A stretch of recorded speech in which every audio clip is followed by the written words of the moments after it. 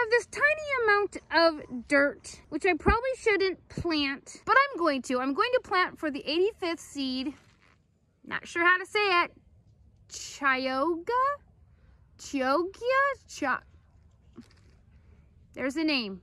Those are the beets. Okay, I looked it up. Chioggia is a pronunciation. On my last beet video, I think I looked back, it was seed 53. I don't actually recall.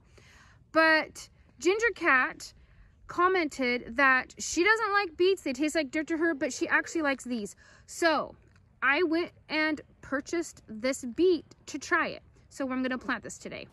Okay, I'm gonna put a row kind of in the middle here. There's the seeds. I think I'm gonna sow them just a couple inches apart, one to two inches. We can always thin them out and eat the tops. Okay, so we have Swede growing there, or rutabaga.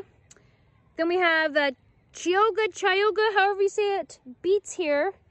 And then we have red Russian kale plus two broccolis here. And that's what we have in this bed right now. Just look how fun these are.